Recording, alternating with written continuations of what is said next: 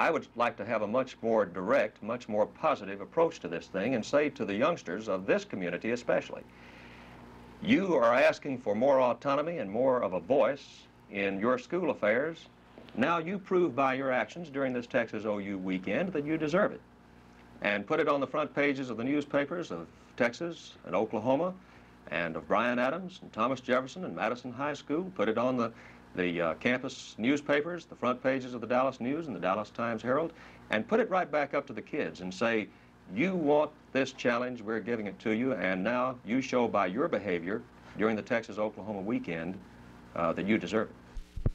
Every year, the city, city officials complain about the violence which surrounds the Texas OU weekend. Every single year, but nothing has been done about it. That's why I think we need to take a different, more positive approach, exactly.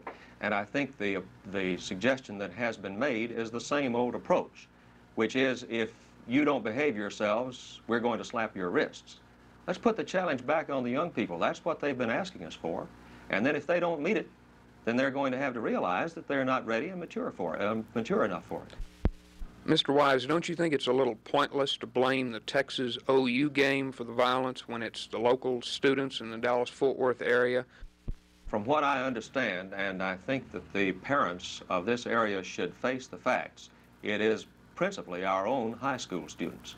And it is these youngsters who must be challenged and whom we must turn to and say, uh, you prove your worth by your actions during this and other uh, actions in and around your campus and on the city streets of Dallas.